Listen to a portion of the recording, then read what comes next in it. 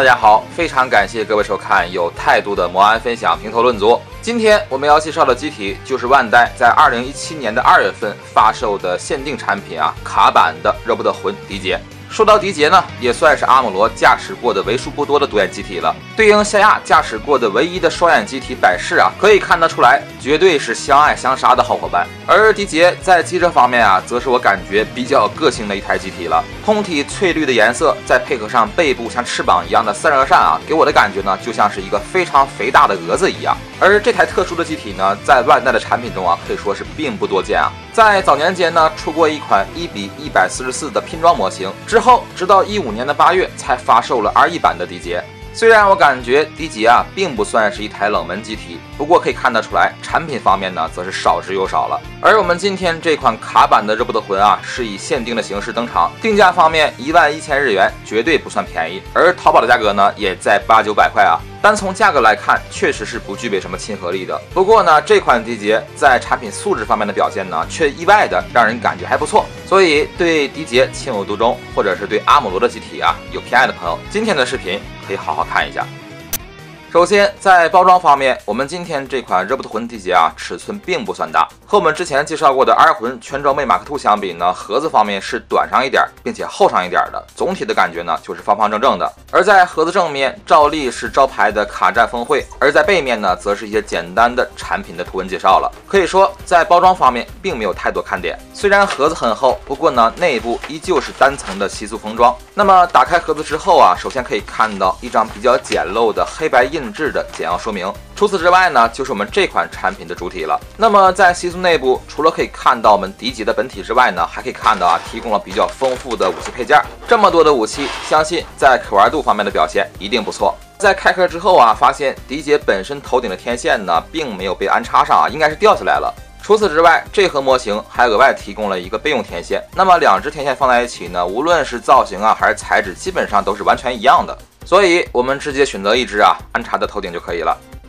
首先，在外观方面，我们今天这款卡版的 R 魂地杰呢，依旧是采取了全身的消光涂装，同时还匹配印刷了卡版的招牌图案标志。在涂装部分的表现，这款地杰啊，应该是我们做过 R 魂里面涂装表现最好的一个了。漆面的表现呢是非常细腻并且平整的，而且也没有发现，比如说异色呀，或者是涂装不到位的情况。同时，在结构部分的表现也是比较清楚啊，并没有肉的感觉。那么，作为一台小比例的产品，外观方面的表现还是比较精致的，可以看得出来，工厂大妈在干活时候的心情啊，还是挺不错的。除此之外，我们今天这台迪杰啊，在关节部分的表现都比较紧实，并没有出现我们之前介绍过的全装备马克兔那种比较松动的情况啊。总的来说，在拿到手之后的第一印象呢，还是非常不错的。在尺寸方面呢，毕竟啊，R 魂还是属于小比例的产品，所以可以看得出来，我们今天这款 R 魂迪杰呢，只比之前的 HG 的元祖七八呢高上了半个头左右。而和之前我们介绍过的马克兔相比呢，身高方面则是基本持平了。虽然机体的设定呢是比较个性的，同时身形方面也是比较肥硕啊，不过呢，拿在手里依旧是一款非常小巧的产品。虽然可以看得出来，现在的二魂啊，做工是越来越好了，不过由于尺寸的限制，依旧是没法满足体积控的需求。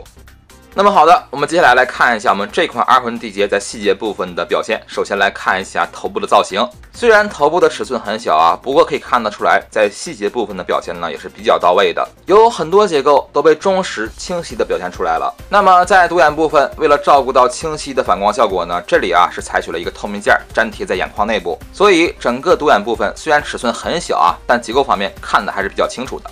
同时，在头部两侧的软管啊，虽然不涉及到可动的干涉，不过啊，依旧是采取了柔软材质分件。然后呢，这个头部啊，在面罩部分可以看到是采取了一个分件的结构。在之前看日战图片的时候呢，这个面罩啊也被成功的拆卸下来了。拆完之后，面罩内部还存在一张脸，应该就是 DJ S E R 的脸了。不过我手里面这一台啊，这个面罩使用了很大的力气，依旧是拆卸不下来，而且呢，在说明书上也没有被提及。相信这个部分是已经完全被粘合死了。所以，就目前的情况来看，日后推出 DJS-12 也不是没有这个可能性。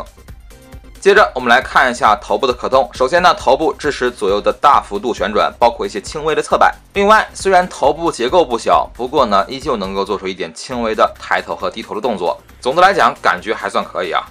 那么在肩部，迪阶并非是对称化的设计。首先，右肩部分啊，可以看到尺寸很大的肩胛结构，这个造型呢，看起来非常像是圣斗士的肩甲。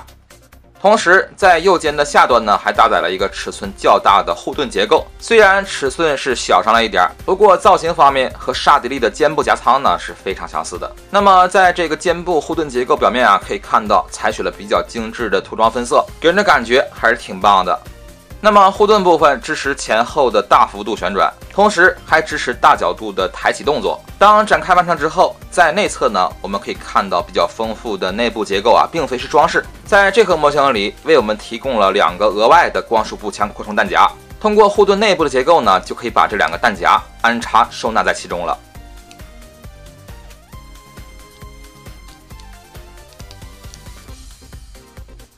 同时，在扩充弹夹安装完毕之后，可动部分也不存在任何的影响，所以也算得上是一个非常良心的小细节了。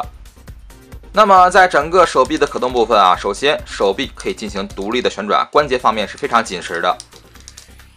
在肩部装甲啊，支持大范围的可动，因此呢，手臂也可以实现九十度的平台，嗯，还算可以吧。因为我们这款迪杰啊需要握持大型的光束武器，因此呢，在肩部还提供了专属的前身关节，活动幅度还是比较可观的，基本上是接近了九十度。所以在后期进行双手武器握持的时候呢，这个表现还是非常不错的。和右肩相比，左肩的肩部结构啊看起来就单薄上许多了。在这一边呢，可以看到两个比较突出的杆状结构。其实这个肩膀的职能呢是类似武器架的功能。之后啊，我们可以在这个肩膀上安装上很多武器。一会儿我们再来演示。那么这个肩部的武器架呢，同时也支持一点轻微的可动啊，不过可以基本忽略不计了。这边的手臂平台表现呢，也是超过了九十度，但是呢要注意啊，头部天线和肩部结构的干涉啊。在手臂的上端，照例是提供了独立的旋转结构，同时手肘部分的可动区域呢，大概也是达到了一百二十度左右，也算可以了。在曲肘之后，关节部分的外观造型啊，也没有什么突兀感。那么在手腕部分和我们之前玩过的几款 R 魂是不一样的，这个位置啊可以看到是单独提供了一段可动关节，所以在活动范围的表现是照比球形关节强上不少的。那么除了默认的握拳手型之外呢，还额外提供了掌型以及多种握持手型，总计有五对十只造型手，可以说是完全够用了。在胸部造型方面呢，是采取了比较硕大的简练造型结构，在胸口下方可以看到一个红色分件的舱门结构啊，这个部分提供了可动，可以掀开。不过即便能掀开啊，也别指望有什么驾驶室的结构，毕竟啊是二魂。这个部分提供的掀起结构啊，完全是为了照顾腰部的可动。不过在腰部的可动方面呢，表现并不算非常强啊，只能进行一点轻微的挺胸以及弯腰的动作。另外，上半身的侧摆呢，也借助胸部中段的可动结构实现。在这个位置，我们也能够实现腰部的旋转啊。不过呢，旋转的时候你会感觉这个位置的手感是超级紧的，并且在活动的时候，你会听见这个塑料之间摩擦的声音啊。可以看得出来，这结构部分的设定啊，对于可动部分的限制还是比较多的。接下来我们来看一看裙甲，这个裙甲部分的造型啊，武士味是比较浓的。虽然在前裙甲以及侧裙甲部分啊都提供了可动，但是可以看得出来啊，装甲部分的衔接呢缝隙都比较小啊，还是很紧密的，因此外观方面的表现一体性啊是很强的。然后在前裙甲部分呢是被分割成了两个区域，首先在腰部这个位置啊可以进行独立的结构抬起，但是抬起的时候需要小心一点啊，上方的结构呢不要出现刮蹭的情况，会出现蹭漆。接着在下端的前裙甲呢也能进行独立的抬起可动，幅度方面是接近九十。度吧。那么在侧裙甲的表面可以看到提供了很多横向的纹路，因此呢，这个武士铠甲的感觉啊就更加强烈了。在抬起幅度方面也是接近了九十度。而在后裙甲部分可以看到尺寸不小啊，不过呢，表面并没有提供太多的结构细节。同时在后裙甲的部分也并不支持可动。在上方可以看到一个圆形的凹槽，在这个凹槽上我们可以安装上一个挂载件。当安装完毕之后呢，就可以把我们的这个光束剃刀的剑柄呢安装在后裙甲上了。接着我们继续来往下看，来看一看腿部的结构造型。整个腿部结构外形方面啊是比较粗犷的，同时可以看得出来啊是采取了方圆的结构来进行的造型刻画。在膝盖后方可以看到一直延伸到大腿根部的动力管，也是柔软材质。看起来像是牛蹄子一样的脚部造型设计啊，也无疑为这款机体增加了一点野味儿。那么在可动部分，首先大腿根部啊可以进行独立的旋转可动，不过呢手感方面依旧是非常生涩啊，很紧。那么在前提部分是达到了标准的九十度，侧提的表现也算中规中矩，是接近了九十度。由于后裙甲是完全不可动的，因此后踢啊也就是在三十度左右吧。另外，虽然腿部造型比较厚重啊，但是呢，膝盖部分的活动区域也是达到了一百五左右，表现还是挺不错的。不过动力管的部分在屈膝的时候，偶尔会出现脱出的情况。另外，还有一个我感觉非常不错的地方，就是膝盖部分呢，进行屈膝的时候，你会发现外甲是具备一定的联动结构的。虽然效果并不算明显，不过呢，在二魂上看到这种联动还是比较少见的。接着，为了提高脚部的可动区域，在小腿下方的装甲前方呢是可以进行掀起操作的，所以整个脚部的抬起区域呢表现还是非常强的。同时，脚掌部分被设置成了两段式的结构，前脚掌部分可以进行大幅度的向下弯折。但是由于小腿两侧的装甲尺寸比较大，因此啊，在脚部的旋转也好，脚部的侧摆也好啊，这个幅度呢就显得稍微有那么一点小了。总的来说，我们今天这款二魂迪杰啊，在可动部分的表现啊，倒算是中规中矩。虽然谈不上逆天，但是呢，勉强摆一个单膝跪地呢，还是能够实现的。那么针对于这个可动表现，基本上可以满足大部分的造型需求。同时，四肢部分的关节啊，手感也是比较紧实，把玩起来让人感觉还是比较放心的。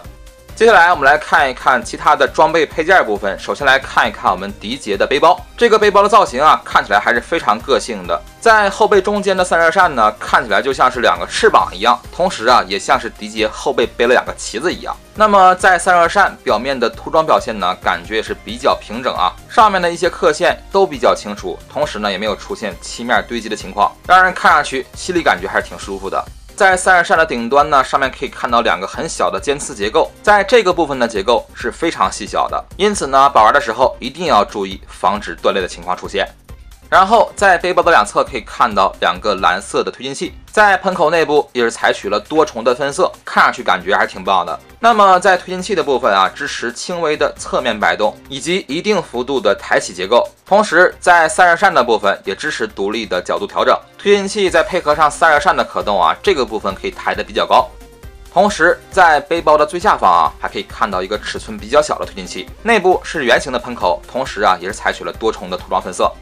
接着我们来看一下所提供的各种各样的武器配件。首先呢，就是标志性的光束剃刀了。可以看得出来，刀柄的部分呢，尺寸还是比较长的，表面是带有黄色的涂装。然后在刀柄的两侧呢，我们可以安装上这种黄色的透明特效件。透明件的通透程度感觉还算可以啊。不过在安装完毕之后，这个刀刃部分的尺寸和刀柄的尺寸相比呢，就显得有那么一点小了。在握持完毕之后的效果啊，也显得有那么一点不够霸气。算是一点小小的遗憾吧。然后呢，这盒模型还为我们提供了两支百事同款的光束步枪，枪体部分采取了消光黑来进行的涂装，握柄部分啊可以进行展开。同时，在枪的上端的挂载结构，如果你看着不爽的话呢，也能进行拆除。在枪末端的弹夹呢，也能够进行单独的拆除取下。不过由于连接的比较紧啊，拆的时候比较费劲儿。另外，这盒模型里面也额外提供了弹夹，所以这个拆除呢可以说是没有什么必要的。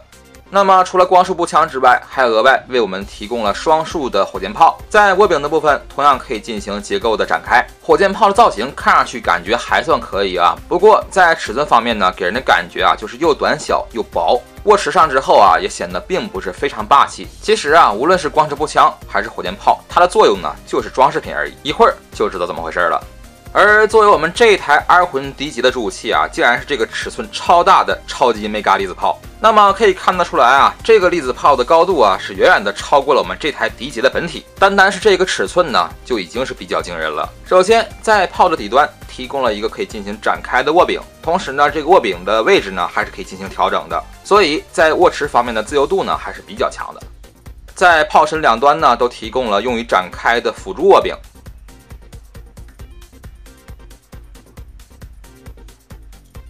在炮身的左右两侧都各提供了三组凹槽，辅助握柄也能够选择位置来进行安插。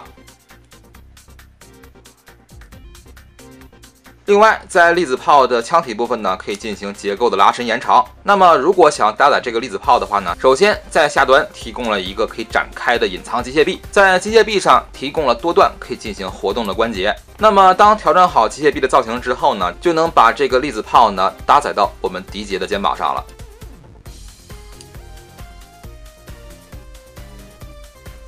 当安插完毕之后，我们不进行握持来看一看安装完毕之后的稳定性啊。可以看得出来，虽然粒子炮的尺寸很长啊，但是呢，我们的敌节站立方面也没有受到任何的影响，依旧是很稳。因此，在这款产品上，我们是绝对看不到握持完大武器就倒来倒去的情况。那么，除了当前这种机械臂的安装方式之外呢，我们这个粒子炮还提供了另外一种搭载形式。在炮身尾端的上方这个位置啊，也是隐藏了机械臂的，同样也可以进行展开，并且呢，在机械臂上方啊，也可以看到提供了很多的关节。这个位置机械臂的安装啊，是通过敌节身后绕到肩膀上来安装的，所以玩家们可以根据自己的造型需求来选择机械臂安装。两种机械臂安装方面都比较稳固，完全不用担心会出现掉落的问题。接着，我们把之前的光束步枪，包括火箭炮呢，安装到我们敌节的本体上。首先，光束步枪呢，可以选择安装在背包的两侧。上面提供了专属的挂载结构，不过呢，连接方面并不算特别紧啊。接着，在火箭炮的部分呢，则是直接安装在我们之前说过的肩部武器架上。其实这个挂钩呢是通用的，因此呢，无论是火箭炮还是光束步枪的位置呢，你可以进行选择和替换，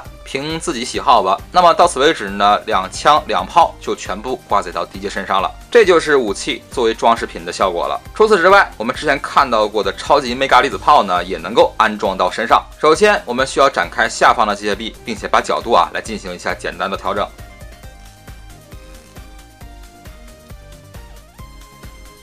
接着，直接把粒子炮啊安装在肩部的凹槽上。再来啊，就是把火箭炮安装在肩部两侧了。由于粒子炮占用了之前火箭炮的位置，因此呢，这个时候火箭炮的安装方式啊和之前存在一点区别。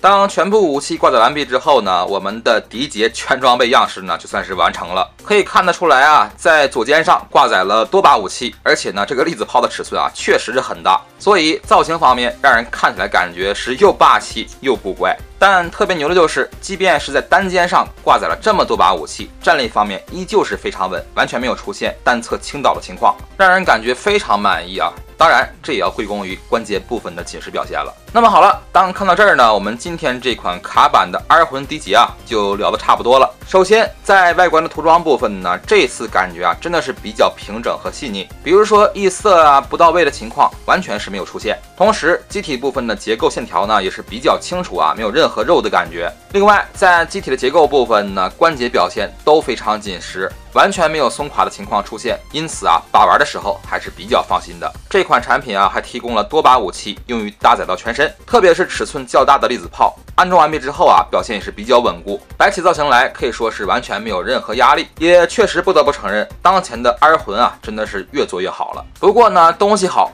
价也好，我们今天这款限定的二魂地劫定价大概也要在八九百块，确实不便宜。但对于敌劫而言，选择性啊，确实是有点太少了。那么，如果钟情于收集阿姆罗的机体，并且经济条件允许的话，这台地劫还是比较推荐的。从它身上确实能够感受到品质的提升。那么好了，我们这一期评头论足呢，就聊到这儿吧。同时，也别忘了订阅评头论足的微信公众号，搜索“评头论足”就可以，号码是平高达的全拼。最新的节目相关资讯将会及时的进行推送，我们下期节目不见不散，拜拜。